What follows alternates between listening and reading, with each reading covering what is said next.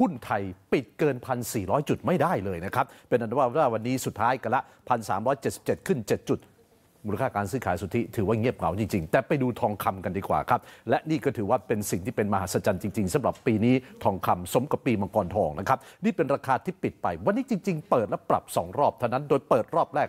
550 ขึ้นอีกนิดอีก 50 เท่ากับว่าวันนี้สุทธิขึ้น 600 บาทครับ และท่านผู้ชมเห็นราคาตรงนี้ไหมฮะ39,050สำหรับรูปพรรณสูงสุดเป็นประวัติศาสตร์ครั้งแรกที่แตะเกิน 39,000ส่วนทองคำแท่งขายออก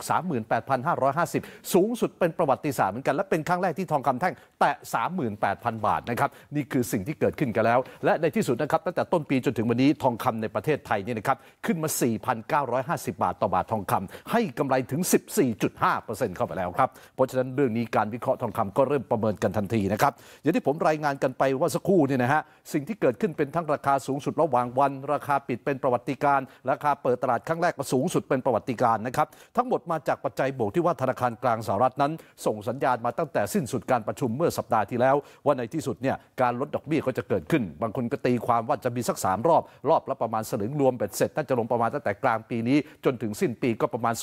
0.75%เพราะฉะนั้นเนี่ยนะครับค่ายทองแห่งหนึ่งก็คือ MTS Go ก็โพสต์ Facebook เลยนะครับว่าเป้าหมายราคาทองคำต่อไป 40,000 อยู่แค่เอื้อม แต่ไม่ได้บอกว่าเวลาเท่าไหร่ที่จะให้นะครับขณะเดียวกันหัวเส้นแห่ง Go Future ก็ออกบทวิเคราะห์ออกมาทันทีนะครับว่าราคาทองในประเทศที่ขึ้นแรงตอนนี้ เป็นไปตามราคาทองคำในตลาดโลกที่นำและขึ้นอย่างแข็งแกร่งนะครับ โดยเฉพาะอย่างยิ่งทองคำในตลาดโลกเมื่อคืนที่ผ่านมาปิดสูงสุดเป็นประวัติศาสตร์เหมือนกันนะครับ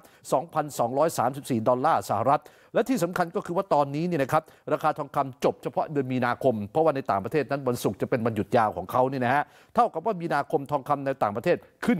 9%นับเป็นราคาทองคำรายเดือนที่ดีที่สุดในรอบ 3 ปีกว่าๆด้วยกันครับขณะที่ราคาทองคำโลกนั้นนับจากนี้ไปก็อาจจะอยู่ในกรอบแคบๆนะฮะเนื่องจากว่า อย่างที่ผมบอกไปครับวันศุกร์ตามเวลาในอเมริกาเขาหยุดยาวคือเป็นวันกู๊ดฟรายเดย์เพราะฉะนั้นแล้ว 3 วันนี้ก็จะเงียบ แต่ว่าสิ่งที่เขาลุ้นต่อคือวันศุกร์แม้ว่าตลาดจะปิดแต่มีการประกาศตัวเลขหนึ่งที่น่าสนใจ ก็คือรายจ่ายส่วนบุคคลของชาวอเมริกัน เพราะว่าตัวเลขนี้นี่นะครับที่ธนาคารกลางสหรัฐนั้นเขาชอบมากๆ ถ้าออกมาผิดคาดแล้วก็จับตาทองคำสัปดาห์หน้าบ้านเราจะเป็นยังไงกันต่อไปนะครับ